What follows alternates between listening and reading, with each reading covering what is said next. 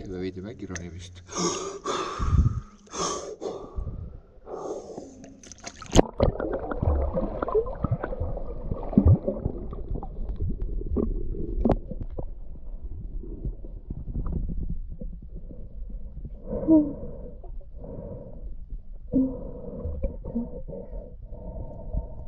Kelly, kes sa oled?